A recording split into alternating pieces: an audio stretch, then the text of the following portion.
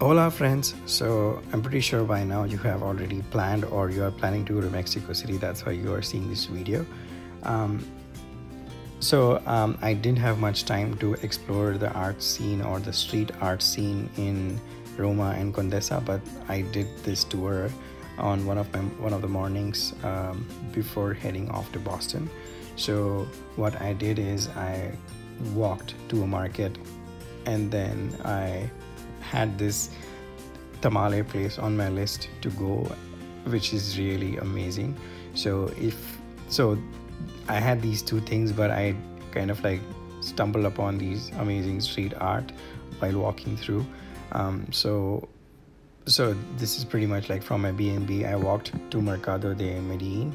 Uh, there's a very funny thing. One morning I woke up and I thought let me go and explore the market scene. So I uh, just googled and looked for Mercado de Roma because I was living in Roma.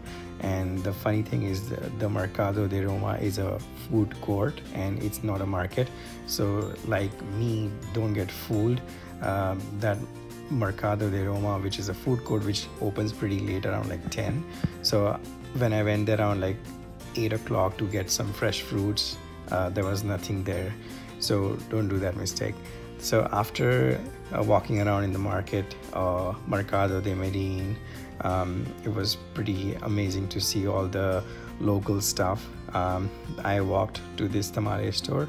Um, ask for an English menu when you go there. They have amazing guava um, drink, which is really uh, they serve warm.